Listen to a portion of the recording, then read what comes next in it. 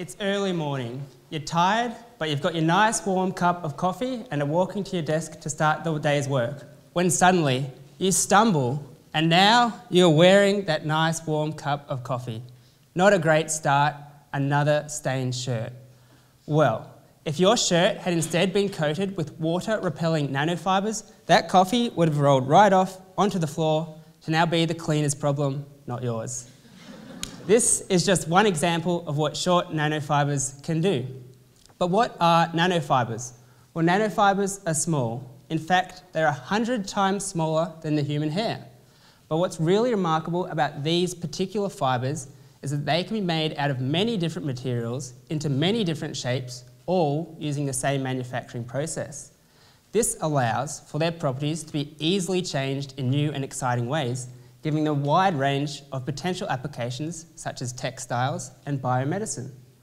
But how does this all work? Well, the beauty about these short and tiny fibres is that they can be placed in a liquid and then sprayed onto any surface. This coats the surface in thousands of nanofibres, giving it new properties based on the fibre you use. For example, rather than using silk yarn, which is expensive, cheaper fabrics can instead be coated with silk nanofibres to give it that silky feel at a much lower cost. So, it is my job to make these fibres and understand how they are formed. The formation process itself involves injecting a very viscous and gooey polymer into a fast-flowing liquid. This liquid um, polymer is then stretched and pulled into long, thin strands as it solidifies. Then there, at the neck, it breaks apart, and this is the critical point. Here, the polymer stream breaks into short segments to form those short nanofibers. And this is the area of my research.